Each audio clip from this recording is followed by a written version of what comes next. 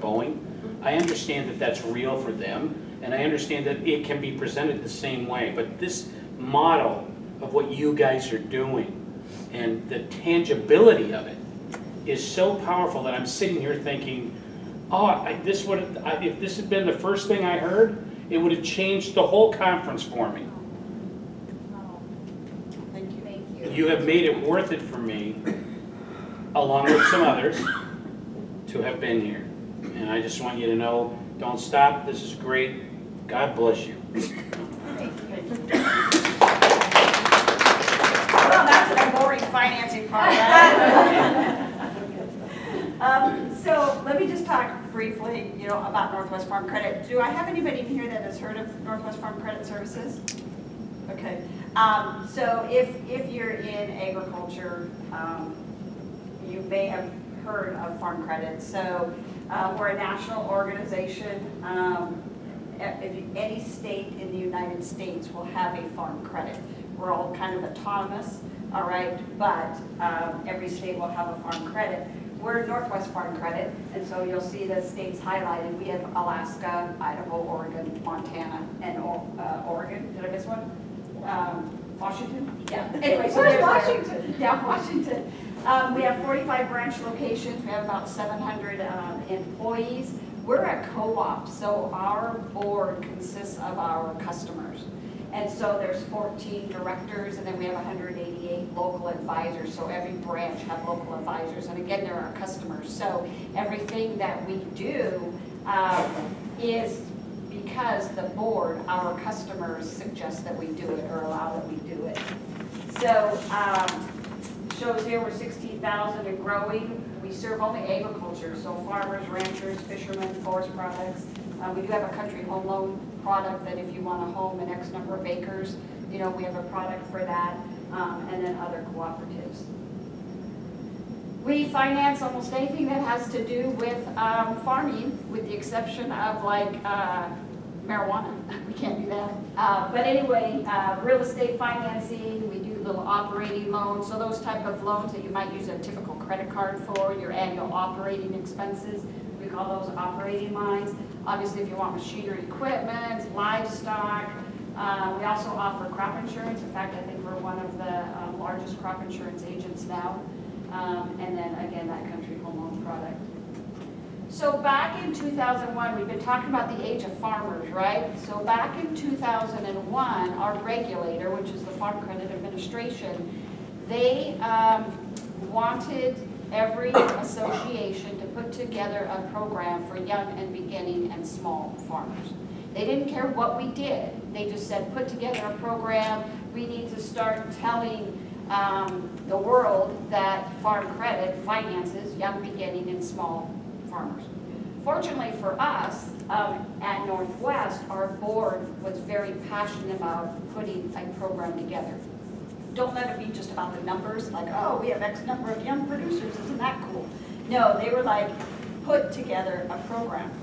And so um, they asked me to head that up or create something um, back in 2001. We gave it a name, we called it A Vision. And um, I solicited a lot of feedback and said, okay, why can't, why aren't we making loans to young people? Why aren't we making loans to beginning farmers? And I stopped in our Wenatchee branch and I was talking to the branch manager and I said, and Ag Vision has been extremely successful since 2001. And I said, I think the reason Ag Vision has been so, uh, so successful is because I didn't have a credit background.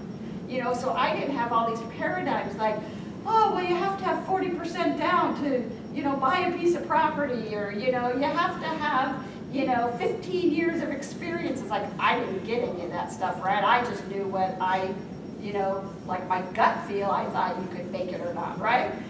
And so when we started putting together underwriting standards, it's like, wait, you can't expect 35% down from young people or a beginning farmer. This needs to change. And oh, you know, they're, I'll say debt to asset ratio, you know, how much, how much debts do you have compared to your assets? You know, they can't be at 30%. These are people that are buying stuff.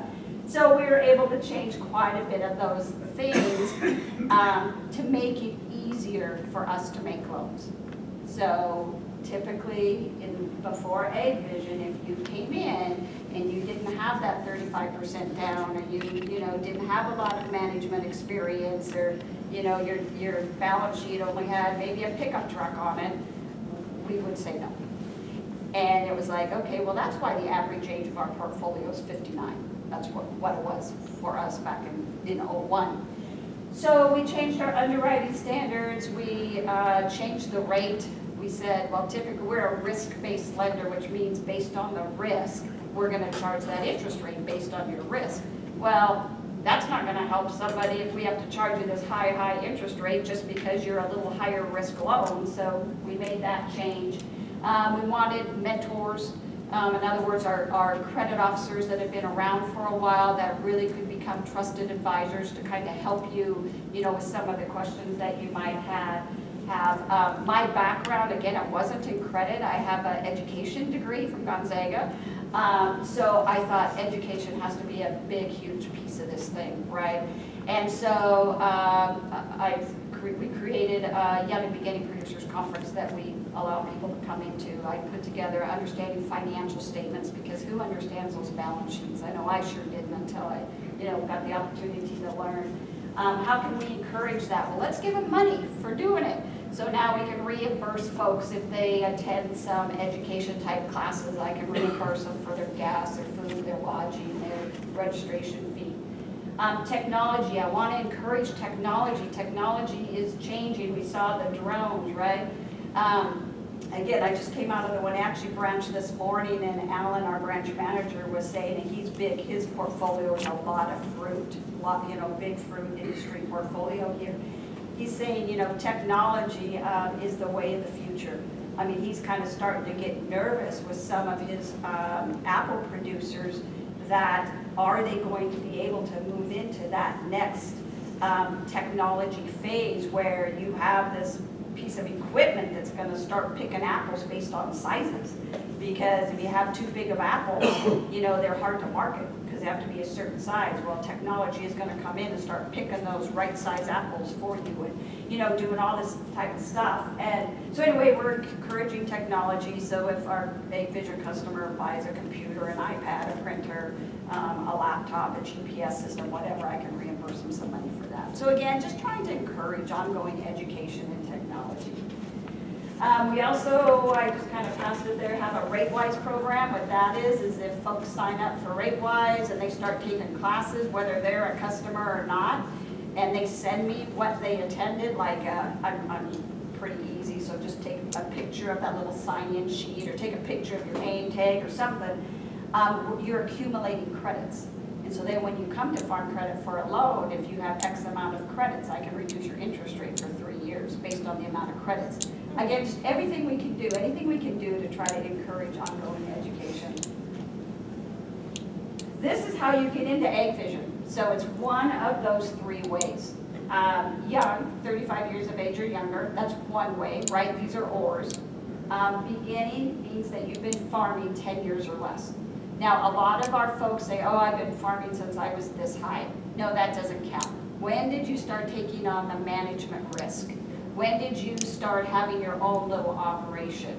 Um, when did you become legally liable on a loan? That's where I'm counting the 10 years, not, oh, I, you know, I started driving tractor when I was 12.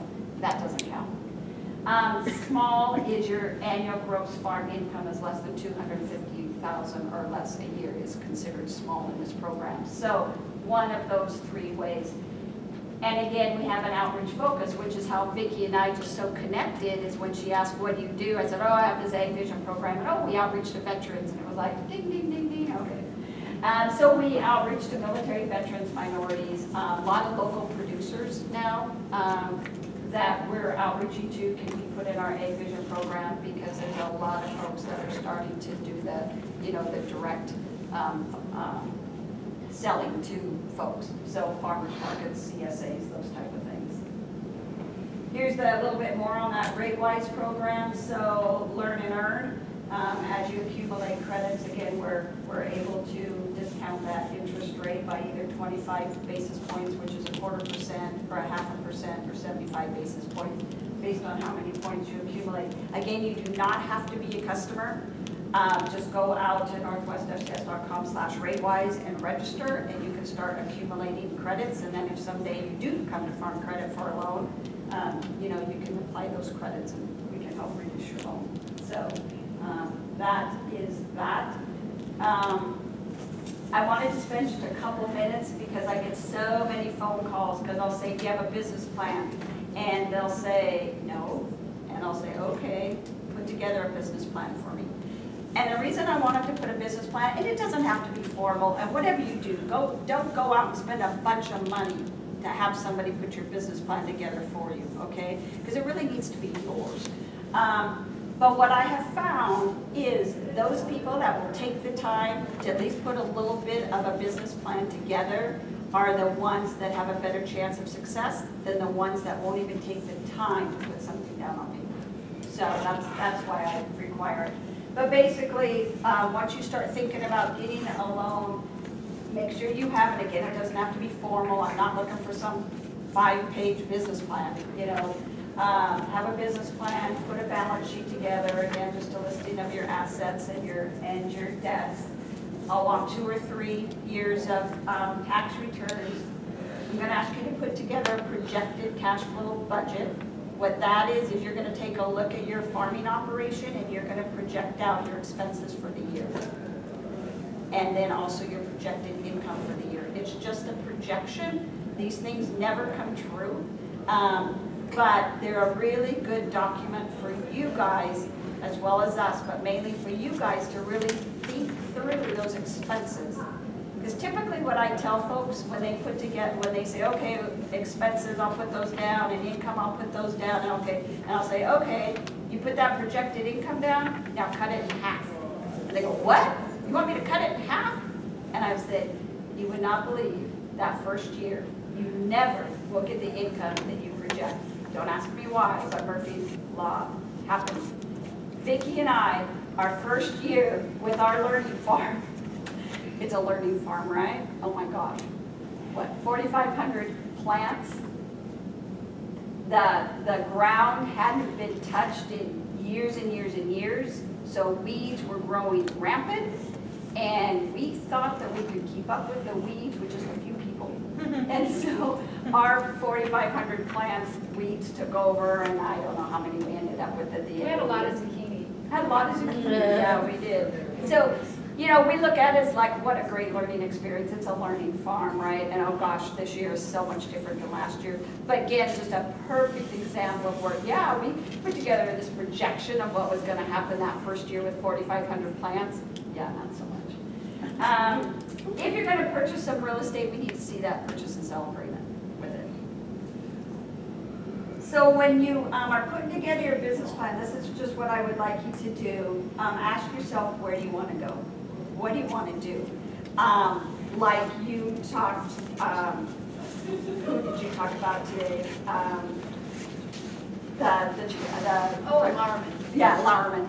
Um, You know, he had, he had like 10 different diversified operations. He was going to start out with the gate on, right? Um, So just make sure that you, you know, have a good idea of what you want to do. And then how are you going to get there? And then who's going to be involved? Is this you? Is this you and your spouse? Is it you and your kids? Are you going to have a partner? Um, You know, what, what exactly is it? And then what resources are needed? Are you going to need financing? Um, Are you going to need any other resources to help you um, get this? Yeah. What about existing operations that are, uh, that are veteran uh, owned but need help to kind of take the jump to the next step? Is this something that, that falls into that category? So an existing operation? Um, They, uh, he's, he's a veteran in my region, I, well, he's more than that, I put him in the military. Uh, um, He's got a goat farm, and um, he's, uh, and he works on another farm, and he's trying to make it, and he's always kind of right on the edge of disaster, but he's hung in there, and he's got probably uh, 70 maybe, 70 goats, 80 goats. Um, He sell, he sells them for meat, he sells them for breeding, um, and he sells them for milk production to other people who want to raise uh, milk goats. But my question is, I'm thinking of him a lot when you're Sure. talking. Is there something that I can do with this program to help him uh, kind of break through, you know, to success? He's on, Does he need financing to go to that next level? I would say yes. So, does he have a market for that next level? He, yes, he does. Okay, so, He's proven that already. so is his gross ag income less than two hundred and fifty thousand? Yes. Okay, so he would technically qualify, right? It sounds like it, yeah.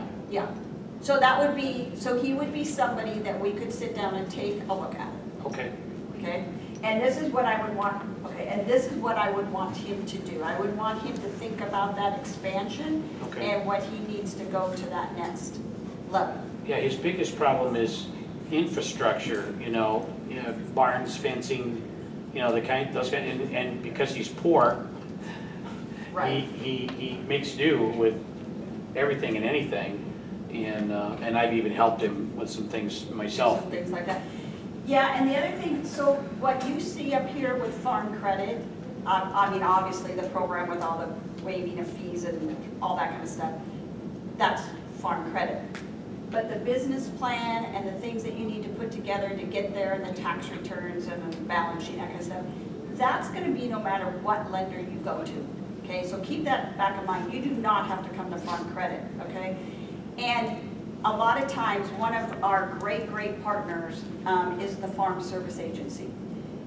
The Farm Service Agency um, is someone who is a great partner for um, maybe a loan that we can't do. And I'm not saying we can't do your friend's loan, right? But the Farm Service Agency is always a great place to check to. One of the reasons is they're gonna have the lowest interest rate around because they're government subsidized, and we can't compete with their interest rates, but they can't compete with us. So if somebody walked in and they know us, we partner with them all the time, they know what we can and can't do, and so they'll look at that and say, yeah, you probably should go to farm credit, right? Um, but if they, if they go into them first and they look and they kind of go, oh yeah, this is probably something farm credit can't do, by all means, I always tell people, go to the Farm Service Agency as you can because their interest rates are so much lower than ours. But they have a nice program too, especially if you're a friend, and the way I was headed there, they have a program called their microloan program and it's fifty thousand dollars or less. So if, if your friend needs fifty thousand or less in financing, they're a great place to go. Because their interest rate is gonna be, be, we, can't touch it, so. Um, here's just a couple more things, get clear about why you want to farm, um, what do you hope to achieve with your farm, let your values guide you, and just share your vision with others. So don't keep it in a little nutshell, you know, talk about it, talk through it.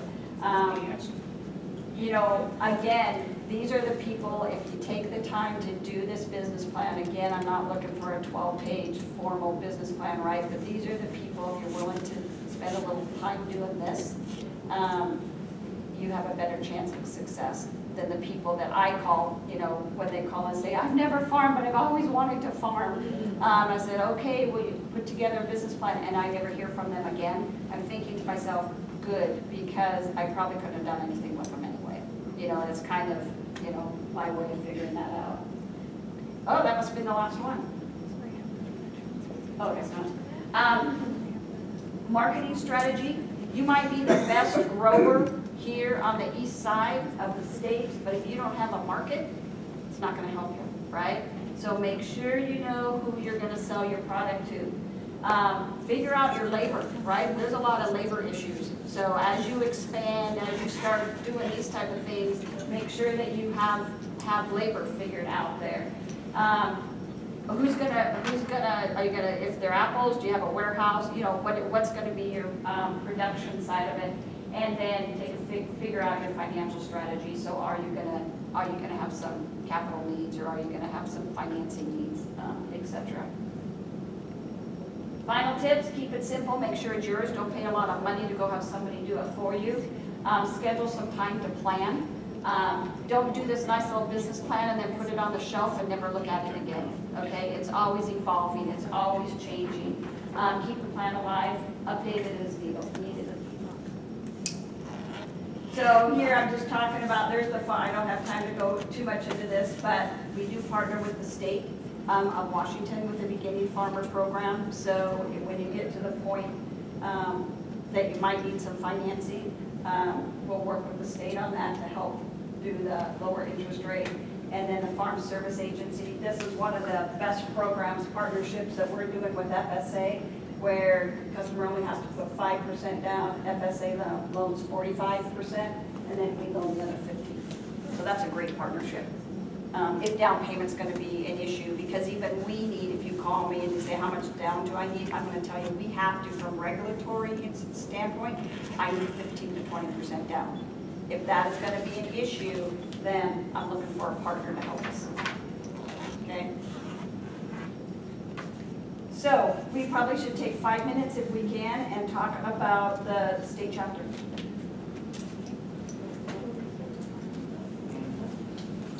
I start? Um, you guys, as a state, now have a Farmer Veterans Coalition chapter for the state of Washington. Um, this is an umbrella organization that works between uh, growing veterans, uh, the Farm, uh, the Washington Department of Veterans Affairs, Veterans Farm and Ordering, and a few other veterans and ag partners around the state.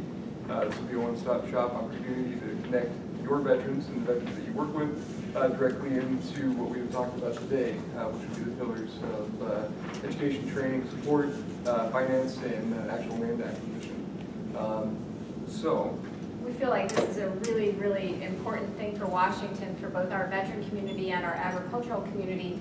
Um, And this is the Washington State chapter of Farmer Veteran Coalition. And if you are a veteran, or even if you're not a veteran, you're just interested in supporting it, we encourage you to get online to the fec.org and register as a member. It's free, um, but it will help us be able to deliver more information and programs to Washington State. But as a local cha, or as a state chapter, um, that really um, helps us because now we can be at the table when those decisions are being made federally about our veterans' benefits in agriculture. So um, this group is very politically active in Washington DC about veterans in agriculture. So we're really excited about that. They provide some uh, uh, amazing um, loans, uh, microloans, small loans, zero percent interest through Kiva, and also some grants uh, each year. They have a, a, a foundation or an endowment fund that provides grants. So just locally, we've had a couple, Larman was a recipient of one of the grants, but also one of our uh, farmer vets in Colville, uh, Bob Gum, was also a recipient of one of their grants. So What's it called? Farmer Veteran Coalition, and they're the ones that the film that I talked about was, that was about them and, and really made, uh, based off Michael O'Gorman's work. And he's the one that I spoke to on the phone. So now we are over at Washington State, the three of us kind of put our heads together and said, we need to get Washington in on this. And it just happened, we just got finalized today. Today. Yeah. Wow. The other cool thing that Farmer Veteran Coalition has is the Homegrown by Heroes label. So if you are a farmer and you are selling your, if you're a veteran farmer and you are selling your product, there's a really cool label called Homegrown by Heroes that you can put on your product. Um, and I'll tell you, there has been studies that show how much more you sell because people want, people want to buy from vets. I mean, they just do. If they see this homegrown, you know, heroes label, it's like, and you're at a farmer's market and you're kind of looking like, oh, do I want these carrots or do I want the, homegrown by heroes? I'm going to buy those. So, um, but it doesn't just have to be farmer market stuff. I mean, we have, we have examples of a lot of people that are using this homegrown by heroes label, but that is something free from the Farmer Veteran Coalition, is they will provide you with those labels, so. We have to so we agreed, yes, we agreed to three objectives, hopefully we hit those. Um, please, questions and answers, to see one hand. I have two questions. So you said the twelve-week program, what's the cost on that, or the average cost on that? Well, we have scholarships for vets, but it's hundred and twenty-five dollars. So, Oh, but, but program. we, we. And it's one night a week. And then how twelve do you weeks apply is one night a this? week, it's not, you know. And then how do you apply for the scholarships? Uh, when you enroll in the program, there, it asks if you're a veteran, and I call you and I say, do you need a scholarship? Where are you located? Are you? in- Wenatchee. You're in Wenatchee? So if she applied for the extension out here, would that still be the same? Uh, yes, we, we actually are providing scholarships throughout the state as long as the class is being offered. And it is being offered over on the west side, um, and then of course, um, in Spokane. We are trying to, we're working right now on being able to, to offer it satellite or, some other electronic way because we know that there are small rural communities that are not able to do cultivating success. Teleconference. Yeah, I know, Yep, we're yep. working on it. Yep. Are you, um, with the rate wise and then the, the kind of, um, uh, challenging them with writing their own business plan, that sort of thing? Is there some components of that education piece that prepares them to do that? Yes, yeah, that's what we were talking about. So through the 12 weeks, um, bring in your idea, you're actually, through that 12 weeks, you're working on your business Okay, model. And then, you know, in the end, you might not have it complete, but you've got a very solid idea now of what you want to do. Yeah. And then we can help you finish that. And we actually have um, veteran volunteers that have, that come in and will help you sit down with you individually and help you finish that business model. Okay. Is there a question here? I just have a comment, you're not on the evaluation sheet, so I can't give you a ten out of five. You sure? Yeah. Yeah, they are. Should be there in fact. Maybe try the last one. Maybe the title. You are getting a ten out of five. Aw, So, Um, contact information for all three of us. Um, There is information on the Best in the Farm at the table as well as the Veterans Farm Authority. Um, Gladly, if you have any questions, and you want to get hold of Wendy, Vicky, or any of the other partners that are veterans in ag around the state, I would make that connection happily. Will this be on the, uh, the download? This will be on the download again, just tv8outlaw.gov, look for Serving as a Steward Conference, you'll have access to the whole PowerPoint presentation. And uh, started with a thank you, and I'll end with a thank you, thank you very much for your Yeah, time. and, uh, Thank you. For all of